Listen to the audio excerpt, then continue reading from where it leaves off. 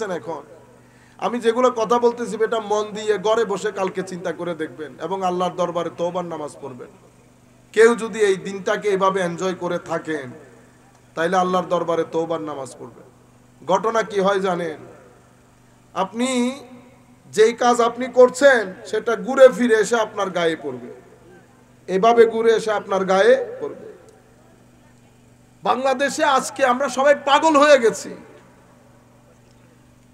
TV, খবর, এগুলা খুললে মনে হয় যেন একটা বিশাল দিন। রবিউল আব্বাল শরীফের মধ্যে আমরা এভাবে উদযাপন করি না। আমরা জানি না আমরা জাতিকে কোন দিকে নিয়ে যাচ্ছি। মনে রাখবেন, আমাদেরকে আমার আল্লাহ শরীর যেমন দিয়েছেন, ইনসান কি, ইনসান আনাসাতে কেউ হতে পারে, ইনসান নাসিয়াতে কেউ হতে পারে। আল্লাহ ইনসানের নাম ইনসান রেখেছেন কেন? কো রেখেছি, ইনসানের ভিতরে আমি আমার মোহব্বত রেখেছি। আমি আমার মোহব্বত রেখেছি। কোন সৃষ্টি আল্লাহর প্রেমে ক্রন্দন করে না, ইনসান আল্লাহর প্রেমে কাঁদে। আনাসা, অথবা আমি ইনসানকে ইনসান বলেছি, কারণ ইনসান নাসিয়া বা নিসিয়ান থেকে। ভুলে যায়। আল্লাহ কি ভুলে যায়? যে বানিয়েছে তাকেও ভুলে যায় যে জন্য বানিয়েছি তাকেও ভুলে যায়। কে বানিয়েছে? আমার আল্লাহ বানিয়েছে। কি জন্য বানিয়েছে? আমার আল্লাহ আমার আল্লাহর এবাদতের জন্য বানিয়েছে। কীভাবে এবাদত করব? আমার আল্লাহর এবাদতের ধরন কি?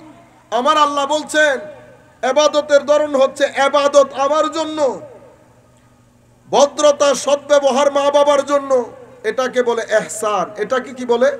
এহসান। সদ্ব্যবহার সহযোগিতা, গরিব, আত্মীয় স্বজন পাড়া প্রতিবেশীর জন্য।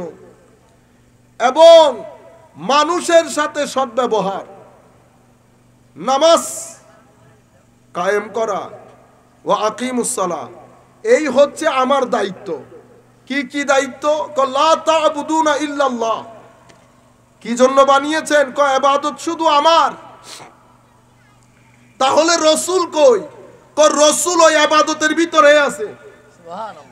আর কি কি আছে? এবাদতের ভিতরে কোরআনও আছে। এবাদতের ভিতরে কোরআনও আছে।